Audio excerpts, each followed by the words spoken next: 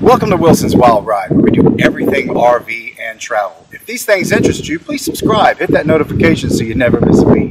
Today's Thirsty Thursday is at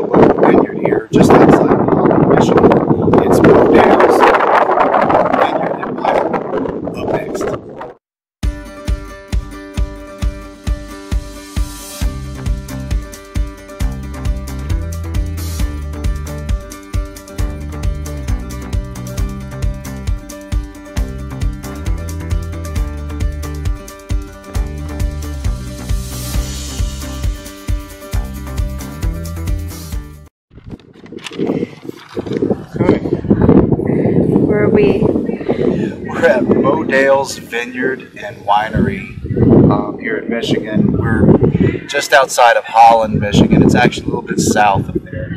And we are doing a flight of Wine different types of wines and ciders at a local uh, winery here. And they do it a little bit different, and I think And instead of just filling out your paperwork and then and then them bringing it, you they do it on these circles, so you can always know which you which one you're trying. So right now, listen, this is the Secco cider, and as you can tell, I guess we're just not really into red.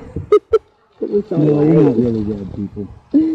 Um, that is um, that's really crisp. It's uh, it's it's definitely you can taste the apple. It's not very sweet. Um, it's not dry either. The next one's the Pinot Grigio. That this was always our go-to. Yeah, that's that's that is that, that reminds me a lot of some of the Pinot Grigios we've had. You want to try it? Okay.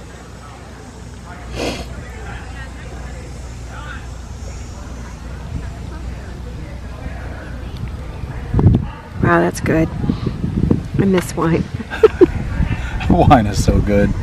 Um, all right, so the next one here is the Sauvignon Blanc. Uh, Sauvignon is usually a little bit drier than your Pinots. and normally it's a little buttery, but but not as buttery as a Chardonnay. right. This one here has a, a kind of a fruity after. It, I don't know. It's it's almost it's almost like an apple.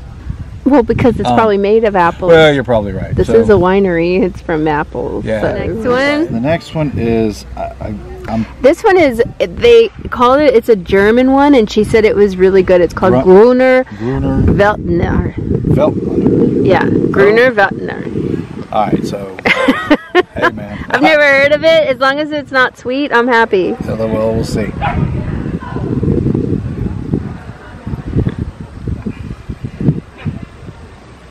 No, it's not sweet, but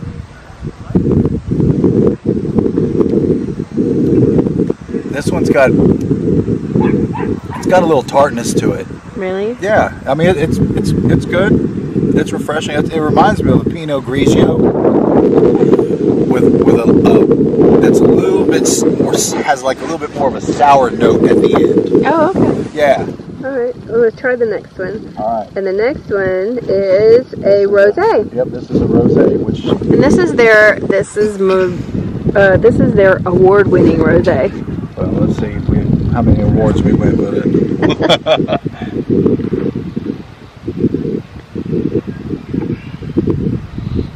yeah. Now that is really light.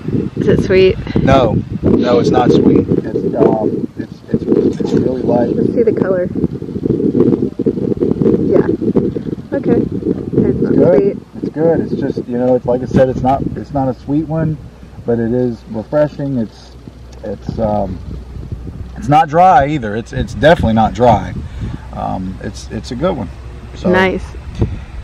So your favorite? So my favorite out of all five of these is going to be the Secco cider. That It's thing still- is good. Yeah. So, like I said, I'm going to see if, if I don't know how they sell. Maybe six packs or maybe sell by the bottle. I don't know how they do it. But that definitely is my favorite. But we are enjoying this beautiful weather in this beautiful town in Michigan. Look yes, at that. it is. It's, the, the weather here, the weather here is unbelievable. Uh, I just the kind of weather we've been in in the past several months to leave that to come to this, it's just as you can see, I'm wearing long sleeves, and this is awesome. right. Okay, guys. So Thirsty Thursday, this Thirsty Thursday, check out your local vineyards.